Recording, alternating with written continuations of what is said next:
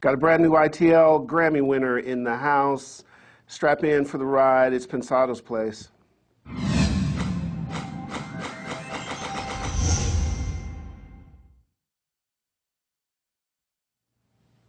Did you say strap on? I wasn't paying attention. No, knobs are your specialty. yeah, you, everybody knows about your knob fixation. Let's keep the show on a high level. 2012 started up. Uh, yeah, sorry. I was like trying to think of my questions, and I'm like, did he say strap on? Um, you guys weren't here, but earlier Herb and I were teasing about pretending like we did ITL this week about strip club music, so it kind of all fit together. Anyway, good to have you guys here.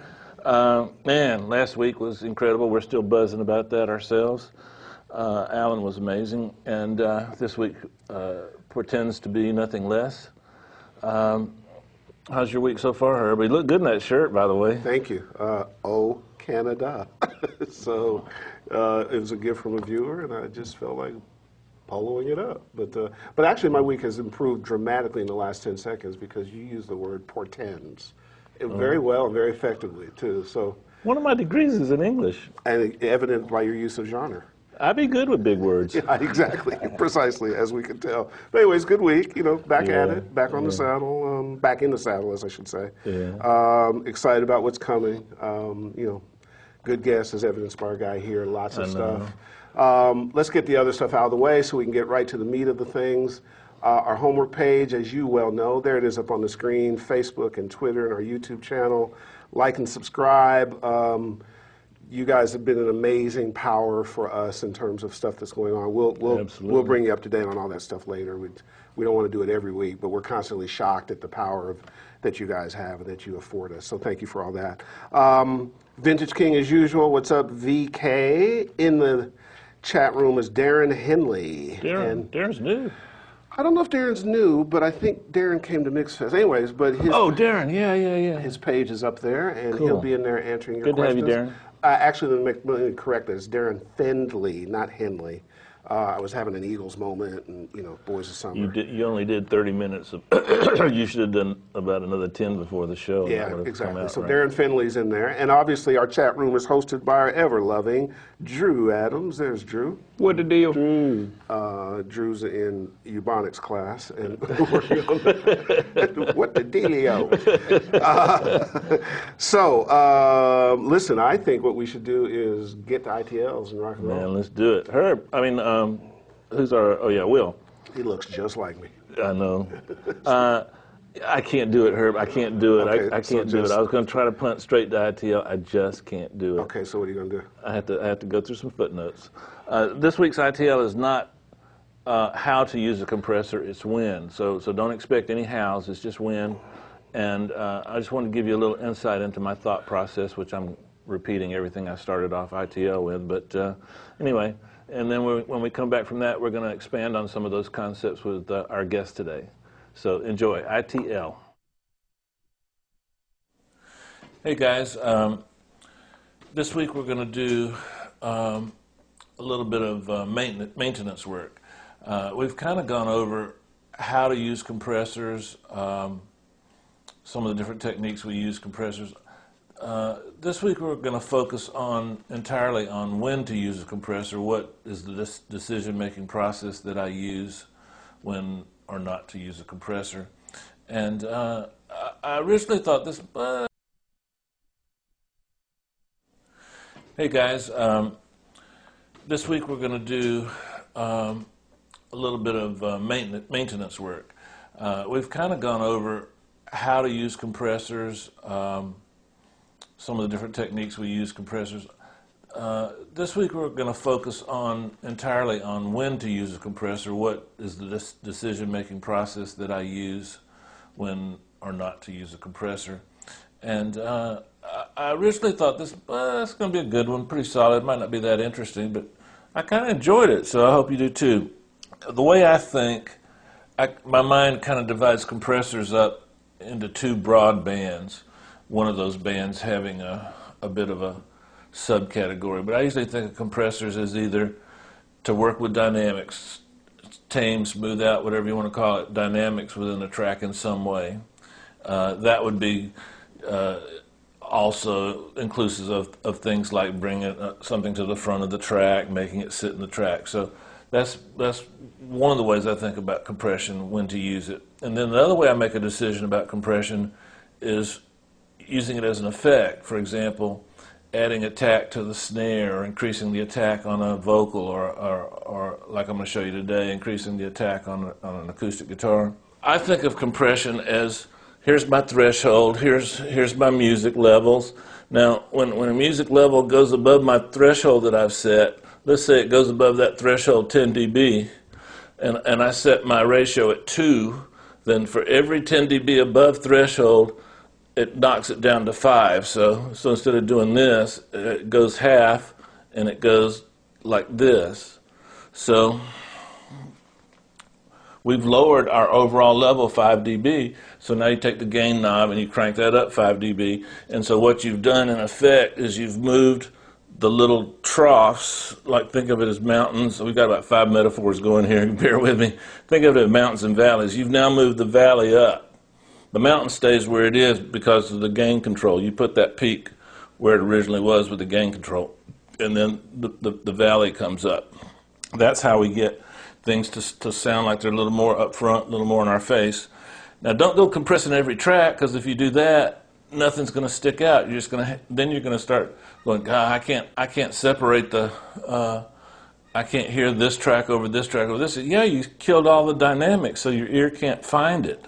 So so don't overuse compression. I, I like I've said a hundred thousand times, I'm not a huge huge fan of of the way I use compression. Now, when I hear other guys do it, the masters, I'm, I'm envious, but. Uh, don't feel like you have to use it. Another thing I get asked is, do I put equalizers before the compressors or after. Well, let's think about this. What, what is an equalizer doing? It can either remove a frequency or add a frequency.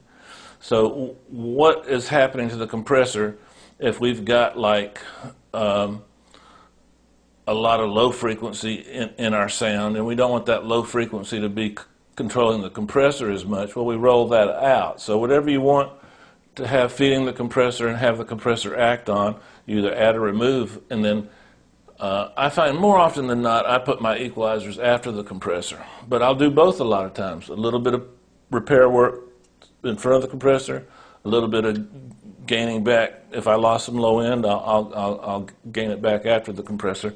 You, you, guys have seen my parallel chain on the kick drum and the snare. I, I, I sometimes add 10, 15 dB of, of, of 30, 40, 60 after the compressor, and I'm compressing a lot. Like I'll, I'll be knocking off 12 dB, so I'm losing a lot of low end. Okay, guys, I'm going to show you this vocal uh, because I think it, it, it, illustrates a lot of a lot of things, and I'm going to use some compressors that we all use. I'm going to use Renaissance uh, by Waves because it's pretty popular. Uh, everybody has it's you know it's a desert island compressor. You know, it's one of those things. If you had one compressor on a desert island, it would be that one um, in the plug-in world. Okay, here's the vocal. I'll be your strength. I'll be, I'll be your strength. Okay, you hear your and strength kind of jump up. I'll be is kind of down a little bit. Now, if this was him in an acoustic guitar, I probably wouldn't change too much of that, but he's going to be competing with a lot of stuff in the track. So let's see if we can bring the I'll be up and the your strength down.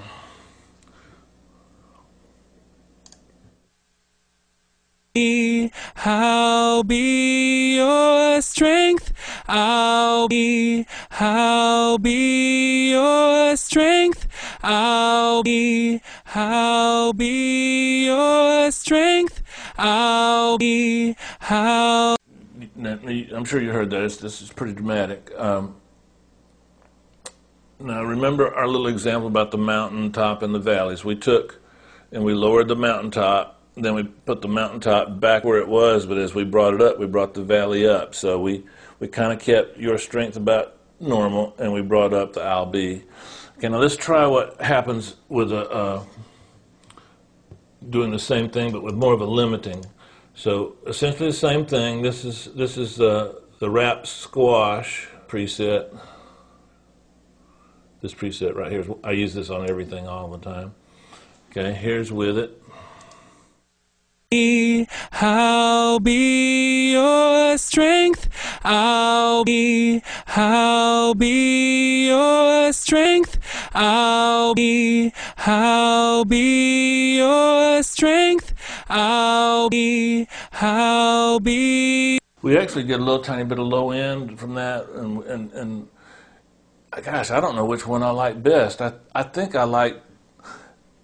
If I wanted the vocal to stay constantly in my face, I'd use this version of. Uh, I would I would use a, a higher ratio and go more towards limiting. If I wanted the vocal to still have a little emotion and, and, and have a couple of words that were ducking down a little bit and a couple of words that weren't, I'd use um, I'd use the other compressor. Now, an, an alternate thing is is um, is to use the, the other compressor and uh, use an old buddy of mine, Vocal Rider. Watch this. I'll be your strength. I'll be, I'll be your strength. I'll be, I'll be your. So there's other techniques too. Uh, This is kind of compression, but instead of doing it with electronics detecting the signal and processing that, it's it's actually writing levels in a different way. Real cool plug-in. Okay, now uh, I want you to hear this. Um, this is the Shadow Hills compressor. This is an analog compressor, um, and um, now this this gives us a little color, gives us compression. It kind of it, it's kind of a it does it does everything. It does it adds an effect and it adds compression. And this is this has become one of my favorite compressors. I'll be your strength. I'll be, I'll be your strength. I'll be, I'll Now? be your strength. I'll be, gotta turn the I'll be your strength. I'll be, I'll be your strength. I'll be. So that's another option. Incredible. I got the, I got the threshold set a little low on that, but you can get the idea. Okay. Um, now let's go to let's go to an acoustic guitar. Now this is another way to compress. Now everything that we did on that vocal applies applies to the acoustic. Now this guitar, as you can tell, is pretty compressed. So what I'm doing is I'm using uh, this uh, UAD and I'm getting my compression right here. Watch this little light. Well, let me play it for you without it.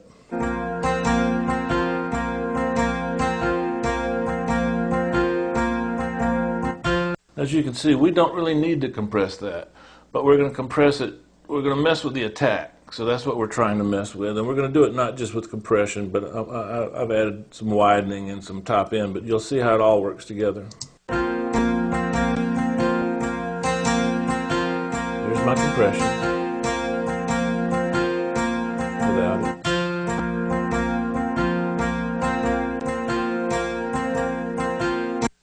Okay, guys, so uh, we're going to come back to this subject in the future because uh, we keep getting a lot of questions about this. Compression seems to be the one consistent question we get. Now, I didn't go into stereo bus because we've covered you know stereo bus compression and how to listen for it and all that. We, we've covered that several times already. So, um, just just uh, just to reiterate, when you sit down, have a reason to to pull up a compressor, and then and then try and listen in your head and picture what you want it to do, and then go try to achieve that sound. It might take you 30 minutes the first time, and then after four or five years, it'll take you three seconds because you'll already have that in your brain. By the way, guys, I don't know if you ever saw, but um, on National Geographic Channel had a show on the brain. It's called Brain Games. If you ever get a chance to watch those, uh, there's a lot that can be applied to the world of audio in those. Okay, guys, I'll see you in a little bit. All right, guys. Um, first of all, good to see Bill Kamek in there. And, and A- Alex, spell your name phonetically on the chat board. Alex Neat, so I can get it right next time. Guys, I'm really excited to have Peter Mokran with us today. Peter is someone whose work I've admired for a long time. Someone, uh, he's an engineer's engineer, and uh, we work on a lot of the same records. And I'm, I'm always scared. First thing I do is play his mix on the record and mine, and he cleans my clock every time. So great to have Peter here. Peter, good to have you, my friend. Thank you. Thank you, Dave. Welcome, welcome, welcome. Peter, um, like we were talking earlier, I think you're the perfect guest because you do everything. Like like most of the guys at home, they have to write the they write the song, they track it, they program it, they engineer it. You've had incredible success as a writer. You've written hit records. You've had incredible, you know, on and on and on.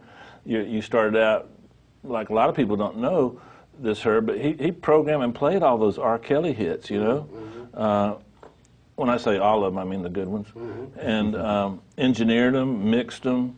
Um, Got I- his, I think got you- his lunch. yeah, I was about to. Try, I, was, I was looking for a joke there somewhere. So, man, you're the perfect guest, you know, because that's that's that's our guys. Um, um, start me off by let's go way way back. Aaliyah is someone that's just captured all our hearts and imaginations. You did her entire first album. Uh, just give me a quick anecdote about that. Robert R. Kelly was was fresh and new, and we were working in Chicago. It must have been an incredible experience. Yeah, she was actually, um, I think she's Gladys Knight's niece. Yeah. I think that's So uh, originally, uh, we became aware of her. Robert's manager at the time, Barry Hankerson, um, ex-husband. ex-husband of Gladys Gladys. Knight. Yeah, exactly. Yep. Um, wow, we're going way back. Um, Absolutely. Uh, made us aware of, of Aaliyah. I guess I don't know if she was on Star Search or, or something initially, but Gladys kind of took her under her wing, and Gladys had a deal at MCA, like an imprint. So we did a demo when she was, gosh, she was like 12 or 13 years old, and then uh, I think it was a couple of years later that, that she got the deal through through Jive, and uh, you know at that point R. Kelly's thing had kind of exploded. So, um, you know, she was the, the first artist, you know, that he kind of was going to produce and, you know, they were going to set up a label, and which they eventually did. Um, but it was incredible. I mean, she was so young at the time and just had an incredible work ethic. I mean, I know we were probably violating child labor laws or something because, I mean, she would like, she would sit at the mic and, you know, I I mean, it'd be like six hours went by and she hadn't left or even moved, you know, just going over stuff mm-hmm. over and over and over because initially when we first started working with her, she had a completely different vocal style. You know, she was kind of like the Star Search, like full voice, belting it out. And it, it was good, you know, she sounded good, but, you know, um, it wasn't as unique as her sort of airy, softer tone. Um, so a lot of that was sort of developing it. You know, we initially did like a whole record that never came out, you know, kind of a different direction until, you know, kind of found, you know, found her thing. And then uh, from then it, went really quick. Don't don't don't don't let me forget about your work with Michael Jackson on on history and uh, uh, the Pussycat Dolls. Uh, I hate this part. That was a that was an incredible mix. I know the I know the struggle you went through that too. And uh, there's several records that you've done that, that people should know about, and we'll get into those as we go along. Flaming Lips is a, a little a little Yeah, just a, a classic, but when you bring all these hats to the table, I don't. Uh, while we're while we're reminiscing, that skit on Living Color, the, the the Jamaican family, you know, like you only got one job, you know. It's like like when you bring all these skills to the table, how how does it how is it an asset? And like the guys at home that have to do this, what what advice would you give to them in terms of of wearing so many hats at the same time? Do, do, do you find it, it, it reduces the, the creativity or because you don't, you, you, there's no safety net for yourself, you know? I mean, No, I mean, I, you that. know, I think at the time, you know, I was young. I wasn't really thinking of specific, you know, jobs, and Mm-hmm. really even just mixing. You know, I wasn't even aware that there was a guy that only did that. You know, Me too, me too, possibility. yeah. So really, it was just. Um, you know, there's so many guys that, that do it. Having a, a, a niche where you can you can fit in, where you can bring something else to the table. You know, so for example, you know, if somebody's working on something and it's like, oh, we need a guitar part, and you can play guitar, I mean, it only ups your, you know, ups your mm-hmm. stock as an engineer or mm-hmm. whatever other profession. And you know, nowadays, you know, with people working at home, every everybody everybody is, is wearing all the hats. So, mm-hmm. You know, the better you get at that, you know, if you start to collaborate with somebody else, you know, it's it's just another skill set to to bring. Do you ever feel it. like, man, I wish I, I wish I could get an opinion on this, you know, because because you're having to engineer your own work, and do you ever like when I when I when I do it, I always feel like I got to ask somebody, is this good? Because I, I I lose focus about good or bad because I did it. I think it's great, or I think it's horrible. It's never in between.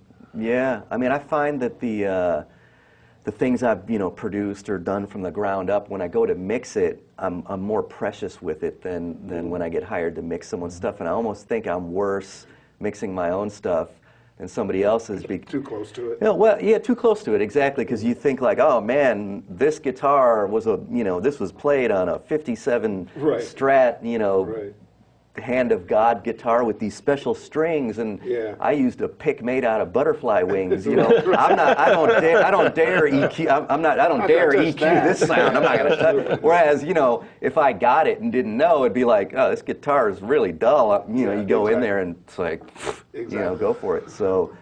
Um, By I the don't, way, I don't know what my point is, but But no, but I can. Once once you hit butterfly wings, it, the show could be over there. um, guys, uh, Sound on Sound, 2009, somewhere in there. Uh, he talks about a record he did. Uh, the artist is called. Um, uh, well, Nicole is the artist from from Pussycat Dolls, uh, our our friend from uh, X Factor, and he breaks down in the article a lot of interesting things that he does. Um, there's a little bit of a, even though it's a couple of years old, he's he's using more plugins now, so we won't hold everything he said in that article against him. Um, another one of your records, the Lisa Stansfield record, "Never Gonna Give You Up," like like you, you you hear reverb differently than, than a lot of us do. Like like I've always thought that the way you use empty holes and spaces in your mixes is about as good as it gets. You don't try to fill every empty space up. You you you, you let the empty spaces amplify the other part. What was on, on, on some of your big hits? How do you make the decision on how to treat those spaces? Like, like, like sometimes it seems like your reverb decays different amounts into different holes. Yeah, well, I mean, I, I'm, I'm constantly changing it, so there isn't a static, you know, reverb. I'm always riding it, you know, throughout the song. But uh, the other thing I try to do is, you know, so you, you look at, you know, the song and there's lots of parts and keyboards and guitar, so there's a lot of space that's filled. So, you know, you put up this amazing sounding reverb and you try to throw it in there, and then it, it's either like you don't hear it or there's too much of it. So, what I try to do is I'll make a separate s- send that I'm EQing. So, I'm EQing it all the time. Whereas um, by itself, it might sound a little strange. Like I may pull all the low end out of it and just use the e- you know the reverb to, to try to you know try to fill the holes and and try to um, you know add around it rather than it's very rarely just you know full frequency um, effect. And the other thing is a lot of times I'm sending it from a delay. So you get you get a little bit of a different thing up front, and then a, a you know like a different kind of wash behind it. Is that, is that why some of, some of your records, to me, just as a listener and as a consumer, there's a, there's a smoothness to your records? No loss of pocket, Yeah. but just kind of a smooth thing where everything is in balance in such a way that I call it driving music. You just want to put it on and just kind of roll with it. Is it some? Is some of that your technique? Yeah, I mean, I'm I'm sensitive to you know having it having it be harsh, but mm-hmm.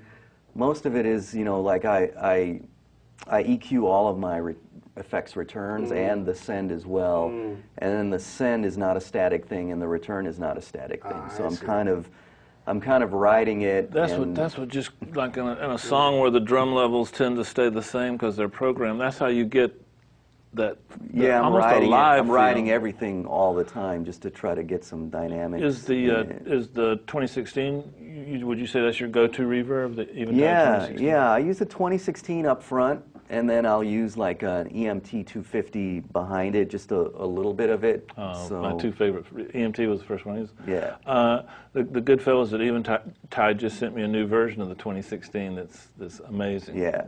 Uh, I can't wait to try that on a record. Um, when do you, when and why do you and how do you choose? And uh, are there any other adverbs I can throw in there? Herb?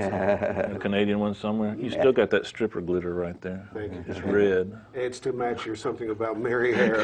that was in the ITL. so we'll talk about that another time. you, you calling me out. I didn't have that much to say on ITL, so I was trying to distract from the fact that I said And nothing in 10 minutes of any were- usable form or, or fashion. and you were completely effective. Good. Well, enjoy it while you can, because I'm Well, he, thinking about. he, he does have his organic, you know, can holding up the uh, Absolutely. speaker. So what's a more more organic hair gel than It's- it's- that, Precisely. right? So That's- Well- well it, put. It housed Organic eco-friendly plant. That's a green. We're as the show is totally a green show. My studio is totally green. All of the power is coming from about 4,000 hamsters on the little wheels out there. go. So it's a totally green show. All righty. So, so my question was, when I, uh, uh, uh, Herb's going to bitch slap me here because I, I can't stop myself. I have to do this. When I pick a pre-delay, I try to pick a, a number that's going to hide the reverb behind a beat. So, like, I'll, I'll pick a 16th or an eighth, and I like long pre-delays mostly for vocals.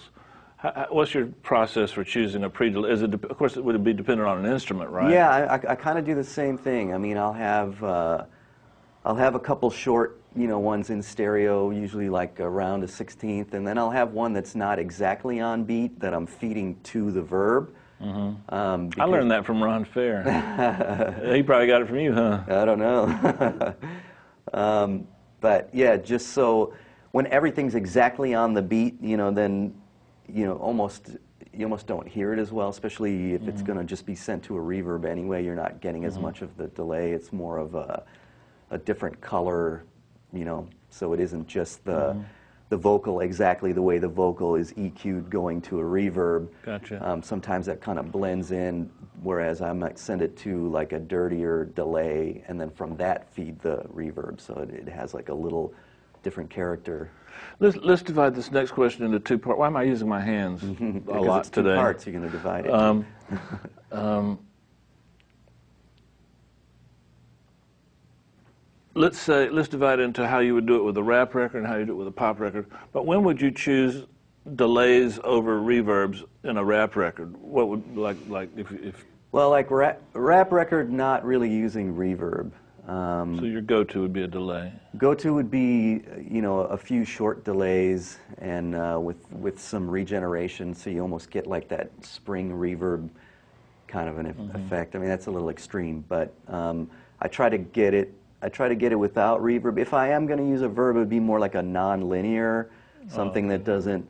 Basically, the spillover, you know, especially if it's any kind of faster, you know, sort of rap, um, it, it kind of washes it out a little bit. So And on a pop record, what pop, would you, pop record would be would be the opposite. Um, especially if it's like a ballad or something like that, you're almost looking to extend some of the phrases so they kind of roll over into each other. Um, gives you that smooth driving music. There you so so in that case you'd be using you'd be using the pre-delay to help create a, a rhythmic vibe as opposed to create a space for Yeah, and and using delays that also feed reverbs. So, um, you know, you, you'd ha- I could have a series of delays like 16th, you know, eighth quarter, um, even even half note. That you know, rather than just being the delay, they also might feed a longer verb. So you, you get a taste of the delay, and you know, let's so it'd be 50% would be the delay, but the other 50% would be the delay going to the reverb. uh, you and I both work, work a lot with Ron Fair. It seems like I wasn't using slaps too much for about 10 years, and then about seven years ago, Ron started requesting Elvis slaps, and I fell in love with it again. Are you, are you are, are uh, uh, that 80 to 120 millisecond Right. range? Are you still? Uh, because I know you work with Ron. but Yeah. Are you still using a lot of that? Oh, I- yeah. I, just can't get it out of my Yeah, head yeah, after Ron great. reintroduced us yeah, to it. Yeah. When um, when do you choose limiting over compression? Is that something that can be delineated delineated easily? Um, yeah, for me, because I hardly ever use limiting. I mean, Okay. the, the only time really is like, uh, you know, if I want to dirty up some drums, you know, like running a kick through an L2 till it distorts or something, Mm-hmm. you know, you can, you can kind of get a thing with it. But uh, I, I don't have a lot of luck with, you know, like limiting um, Mm-hmm. in, in general. Uh, Do you keep your uh, do you keep your ratios on your compression? Do you keep them like four, six, eight, or do you do you ever go up to the limiting areas like no, 30, 40? usu- usually a little bit lower. Like I, I would rather compress it a little bit more with a, a lower ratio Mm-hmm. um, if I'm if I'm trying to get the sound of it. Is that mostly with vocals or all instruments? That that philosophy. Pretty much all instruments. Oh, okay. Yeah, I don't I don't really put a limit. I mean, you know, it's not true. There's always the the rare case where something there might be such an mm-hmm. extreme level thing or something. But usually I'll try to ride I'll try to mm-hmm. ride it rather than mm-hmm. just you know nuke it with a limiter. But there there are times where where nothing else seems to uh, do When it. I was kind of thinking about some questions for you, it popped into my mind that because so many people have access to, to great tools, plugins in particular, we don't need to compress as much as we used to. I find like a lot of times I'm using a two two to one ratio and, Yeah. and barely need, need, needing any compression. In fact, one of the examples I showed in ITL, I really didn't need to compress it at all. I just did it because it. 'cause Yeah, I- I mean, you know, it's a funny thing. Some some guys do really great with you know a mix, and then you know they'll have the the needle really really dancing even even on the overall mix. But uh, it doesn't really work for me. I, I would I, I rather kind of blend it differently, if, if that makes sense. Mm-hmm. Yeah. You know. it makes um, total sense. Yeah. sometimes do you ever find yourself where, where, where you compress the major elements in the track so much that you find you're riding the fader more and then you go instead of just riding the fader let me just uncompress something. Yeah, I mean there was a there was a period where I would, you know, make a drum bus and then kind of slam the drums, you know, in like I'm already compressing them, then sending them to a bus and mm-hmm. mixing that underneath, and you know, it, it's kind of cool if you're when you're in solo, you know, just listening to the drums. But mm-hmm. then, you know, I, I kind of listened to it after a few months of doing that and just stopped, and it was just it was just, you know, for me it, it was just better. I mean you know, there, there's so many ways to, to, to do it to skin a cat that, you know, I mean, I may say one thing, well, you know, the reason, you know, somebody might hear something I do and, and think it sounds really compressed, but, you know, I might just be riding it different, whereas somebody else can get the same thing with, Yeah. with just using a compressor and not having to ride it. But for me, um, the less, uh, the less compression, the better. Yeah guys remember that. He made a great point. When i first started engineering i was shocked at how people got the same thing i got from two completely different ways. So everything you hear on Pensado's Place take as, as a suggestion not a hard and fast way to do something and then then you'll be a, a first rate who you are instead of a second rate peter mokran um, That, that, that's a really good point because when I started out, you know, there were things I was trying to mimic, and it actually led me to my own thing. And, and there was a, there was one instance it was like a Mick Guzauski on a jo- on a Jodeci vocal, and I was absolutely convinced I knew exactly what he was doing. And then I met him, and he was he wasn't. I mean, he wasn't even in the ballpark. I wasn't even close. But Yeah. you know, so Some of you guys that aren't familiar with Mick, uh, go back and look up some of his early Mariah Carey records. There, Mick's one of the all-time greats, but the top end on those vocals, partly of that is Mariah. Uh, I mixed "Touch My Body," uh, and and part of it's just her. She's got all that breath, but man, what Mick does with vocals. When you worked on uh, history with Michael Jackson, you wore a lot of hats in that project. Um, is there something that stands out to you that, that, that, did, like on the on Michael's vocals? What did you do? Um, well, it was cool because I got to I got to record, you know, "You Are Not Alone" and, and do the mix, um, and uh, just I used. It was really interesting. I used what Bruce used. Eleven seventy six. Uh, no, no, he was using the the Neve um, 2254, a square box. I always thought he used an eleven seventy six on They, Michael. they, yeah, they switched it up. They switched it up. They even used they even used the old uh, 165 occasionally. The DBX one, Yeah. the over easy compressor. Yeah, yeah. So if he was if he was belting it back then, they'd use an SM7 and the 165, 1176 sometimes. But Michael was incredible, man. I mean, he could hear the difference between two identically set up compressors.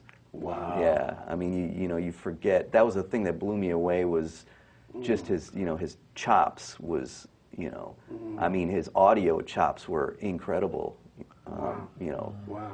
yeah. Um, one one of the. I mean, yeah, he was he was just. All, one of the all-time greats. Yeah, I, I remember when I went to uh, do do the mix. You know, it's like a slow kind of ballad, and it just it just wasn't feeling right. I, I kept asking. You know, we were on tape machines back then. Yeah. Kept asking if the speed was playing back right. I was kind of pulling my hair out until I put the vocal in, and you know, he, he would insist recording in a in a big room, not a booth on a wooden floor. Mm-hmm. And he was um, what you're talking about earlier, your bracelet. Mm-hmm. He was just kind of dancing around, and you could, you know, it was real subtle. It was in mm-hmm. there, but the vocal mic, you know, was picking up all his little rhythmic movements, and it was almost like a little loop that was kind of Yeah. Pushing pushing the record, and then then it felt great again. You know, just as you would do, you'd start a mixing. Yeah. You, you know, you worked on it. You know, you kind of mute the vocal, Yeah. and Amazing. yeah, I mixed. amazing. Uh, definitely. I mixed Hollywood Tonight, not not the album version. Sean Marie did that. I did the remix, and uh, when I had his vocal, I, I was stunned that there was that much rhythmic thing going on that I couldn't hear in the track. Um, something that that those that follow the show regularly know is, is from time to time I just get totally confused about stereo bus compression. Can you Yeah. enlighten me on your process? Oh, and I, I want to make another point real quick, Peter. Uh, you you actually programmed that song. Uh, uh, You're not alone. You actually did the programming. I mean, you did damn near everything on that song. I, I kind of started out as a programmer. That that was, you know, that that that was my initial, you know, way to get work. What's your main instrument? Guitar, piano? guitar? Okay. Yeah. All the great engineers are guitar players. Have you noticed that? Um, how, Dave one of the Pensado things. plays a mean guitar. thanks, thanks. One of the things I struggle with constantly is knowing when I'm done. Um, when I work at Larrabee, I know when I'm done because they tell me get the hell out. right. The clock is running. I'm trying to train my wife to do the same thing for me in my project studio when I work at that one, and then and then uh, Drew is of absolutely no help. He like Drew will stay there fi 15 days if he can. He loves it. How do you know when Because he's getting paid by the hour. How do you know when you're done? Like not not not necessarily on a mix, but let's say you're you're you're you're EQing a vocal or you're you're EQing the main part of a track. How do you know when you're done? Man, I wish you could tell me. I, I, it's a, you know, it's a, it's a struggle. Obviously, having a deadline is not necessarily a, a bad thing. You know what, you know, Yeah. Herb al- alluded to. You know, having, having the like, well, I can't EQ this vocal for two hours because I gotta, I gotta get. There's some something to be mm-hmm. said about, you know, limits. And I think it um, helps focus you guys' artistry sometimes. When you Yeah. know you have that, you're like, you know, I got to get to it. I got to cull out the decision-making process, mm-hmm. and I got to have an end game because, and particularly with so much technology available to you, you guys can go forever. Yeah. you know, uh, I'm not I'm not trying to compare us to what we do to great art, but creativity is creativity, and you you, you know in your heart that Michelangelo would still be painting the Sistine Chapel if the Pope hadn't pulled the plug. You know, I mean, there's just something. And what I'm noticing, tell me if this is true for you. I'm noticing that when I when I spend too much time on one track, I end up coming back to it anyway and undoing a good 50% of what I thought I was killing the world with, and about ready to call Mix Magazine for an interview about this incredible thing I just did, and then two hours later I undo all of that because it didn't fit the track quite right or something. I mean, I just wish I knew when enough was enough and then move on. You know, like you got to do enough. If mm-hmm. it's like a it's like it's like a sculpture, Herb, where in your mind you're seeing a big block of marble. You want to see what the face looks like, so you try to knock off enough marble to where a face is starting to appear. Mm-hmm. But you can't go straight for, to make the eyes perfect until you get the face kind of outlined. It's it's it's a constant struggle in your mind at when to stop and but you got to do enough to know what you've got. Yeah, I'm. I mean, I, I don't know. I'm. Str- I struggle with the same thing, but I, I think it's you know, if it's a situation where you're working in solo, is turn the turn the dang solo off because Yeah. you know you can Don't solo work. a bass and then you know there's never enough low end. When when do you when would you ever stop? You you know you, you keep you know you put six plugins and you know, uh-huh. but when you know when you're hearing it in, in the track, then then you, you at least you have that a little more of a of a reference. Yeah, the thing that screwed me up was Alan Meyerson was my inspiration for getting into my into mixing, he was also my inspiration for thinking about quitting. Because the first time I saw him work, I was like, I can't do that. I mean, he just touches it, and it's done. I mean, like when I say done, I mean it's done. And I, I always thought that I was inadequate because I didn't have that gift, you know. Well, everybody, you know, everybody comes to the same point differently. Uh, getting back to the stereo bus, what, what, what, what, what's your approach to that? Um, I my I guess my approach is um, trying to uh, maybe impart some other sort of touch of a vibe. Like I, I'll use this Fairman compressor. It's not really a compressor, but it kind of it kind of takes the top end harshness off a I'm little not bit. familiar with that. Is it a tube? It's a tube thing. It, it started out, they were originally marketing it as like another Fairchild, but it's, it's really not that at all. Um, and it's, it's made by a guy in Denmark. It's really like high end components. You know, you can, you can unlink the, the compression and it, it still matches perfectly. It's all really. F A built to- I R M A N, I believe. Is, yeah, fair, as in Ron Fair, man. um, so I'll use that just to just to, to kind of it almost widens the mix a little bit. Did you use that on that. Queen Latifah record? Yeah, You did. yeah. Guys, he did a record on Queen Latifah, um, Poetry Man, off of the, her singing album.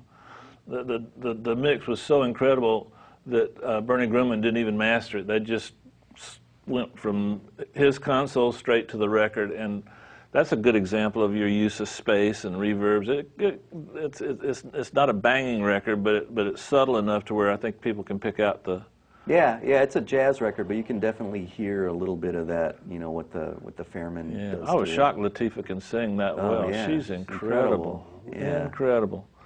Um, well, man, uh, I, I, I'm, I've, I've learned more in 30 minutes than I have in three years. It's Warm been a, been a good couple of weeks of, um, between between Alan and him. I'm, I'm I could have a career. Stop. We should end the freeze it in time and call it a day.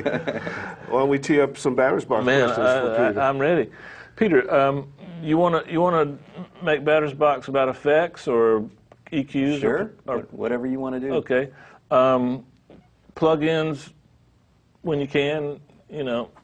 So um, lead vocals. Uh, 2016, Okay. plug-in or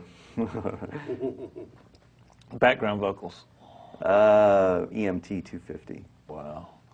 Uh, acoustic guitar. uh, EMT plate. Okay.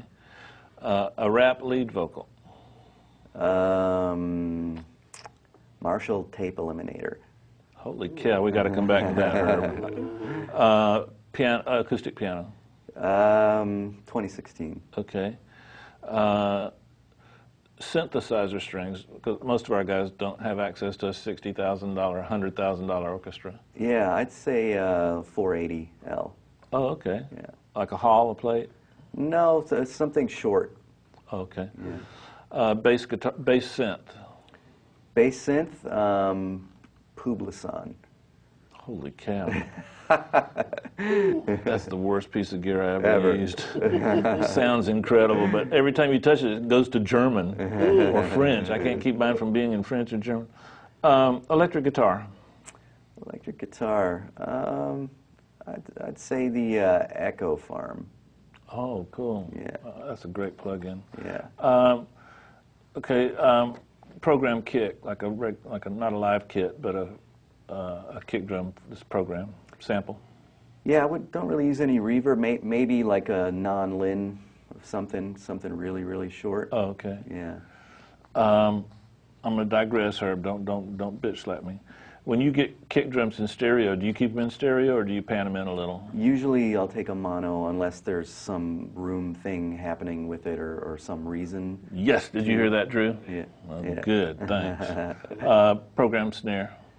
Um, RMX.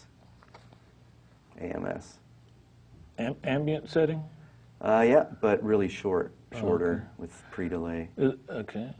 Uh, oh man, that was so fast. I'm. I, I was. That was. Uh, Maximum efficiency, man. which leaves Drew time to tee up a few. But he cheated. He said. He said 2016 and 250. So he can't get best ever award, but he, we'll give him Close. third place. Third place. Close on that score. Okay, absolutely. Uh, tee 'em up, Drew. Cool, cool. Uh, questions from the corner office for, let, uh, let's start with Peter. Kessler Audio, question for Peter. How did you approach the guitars on the Emancipation album? Uh, that that's a good one. well, it's Prince, so it's uh, it's pretty much the way he wants it. Um, yeah. I- What, was on the record was what percentage of what you were given? Oh, all of it. I mean, it, it was it was really odd because what he what he would do is, I mean, I don't know if it was just you know the tracks I was working on, or, or but basically, he recorded tons of tracks, you know, of say eight bar segments, but it wasn't arranged. So this bass line could be the bridge, could be the chorus, could be the verse, could be the. There was no there was no telling, right? Wow. So. Um, I think he wanted to, you know, just get some fresh ideas or, or see what somebody else would, would put together. But it was really difficult for me because the, the communication was really low. So at 1st I didn't really, I didn't know what he, what he wanted me to do. It was like, wait a minute, you know, you've got two different, three different bass parts. Wow. Which is it, right? So. Um, He does. When I worked with him, he, he did the same thing with vocals. It's almost like he just sang it real high, real low, real breathy, real this, and then you. Then at some point, he just he just said, just use them all. But these were actually different parts. I mean, they Oh, were like different, different changes, and it was like this could be a bridge, Wow. but it plays from the beginning to the end. This could be a verse, but it plays from the beginning to the end. Maybe this could be a chorus, Yeah, you know, music. That's you. cool that he Yeah. that he trusts you that much Yeah, to make so- those Well, decisions. I mean, mean- that, that that's where being a musician and a producer and a programmer comes in. Not too mm. many people could handle that. Drew, I want to do another one, but real quickly, just your what's your personal musical taste? Is it what you mix, or do you listen to different things? Yeah, that's a good question. I mean, I'm I'm all over the map. Yeah. You know, I'll right right now I'll just have the jazz station tuned in. Gotcha. Um, but I I love you know R and B, classic soul, Gotcha, um, but also rock. gotcha. Um, so oh, yeah. cool. Yes is the a- answer. I kind of had a feeling. Yeah, The band, yes. There you go. That's roundabout. There you go. Go ahead, Drew. All right, cool. Uh, another one for Peter from Two Radic. Uh, what is it? What is an efficient way to learn programming? How and where to start? Oh, good question. Yeah, I mean it's it's different now than when I started. You know, when I started, we had the very first Macintosh with the tiny screen, and there was one. It was the opcode sequencer. They hadn't even named it. it became Vision. Now, you know, there's there's uh, there's so many options, but I mean, they all they're all so good. I mean, you look at what GarageBand can do Yeah. compared to what we had. For Reason. You know, it, it, it there's there's no answer. It's it's whatever you've got, and, and I think there's a lot to be said about that too. You know, early on, there were limitations. You know, you didn't have, you know, 10,000 like Fender Rhodes sounds to, to choose from. You know, you know you had one good one and you made it work, and, and you really learned the box you had. You learned how to, That's critical. you know, mess Learn with the the, box you have. parameters to, to get the sound you needed. Now, I mean, the options are, are just endless. I, I would say, I would say, you know, spend some time and get your little toolbox together with, you know, your three go-to piano sounds, your whatever, and then really learn how to manipulate those and and start that way rather than just endlessly, you know. Can, I- can I interject sounds. something? Uh, I can because it's my show. Yes, you can. Um, think of the think of the layers of an onion. All the modern sequences are designed. You can walk up, turn it on, and use it. And then, as you need more advanced features, you go to the next layer and the next layer. Don't expect to learn it in one day. Expect to learn it in a year, two years.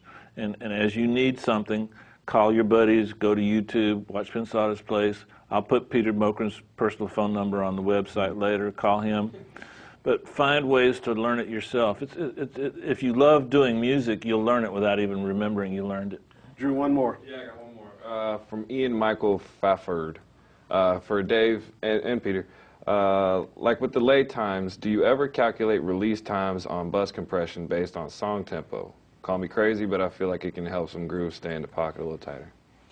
Yeah, I mean, if you're using a lot, you know, the, the, the sort of when the levee breaks, John Bonham thing, uh, you know, the, all that's the, the right release time for, for what's being played. So, um, Yeah, if you're you, if you're really compressing a lot on, on drums, it's it's critical. You can if it's if it's too quick, it's you know it can eat the next beat, if it, or too slow, I should say. Yeah. Uh, what was his name again, Drew? Ian Michael Michael Pfefford. Uh, Ian, check out the Jack Joseph Puig um, interview. He talks a lot about using compression for groove making.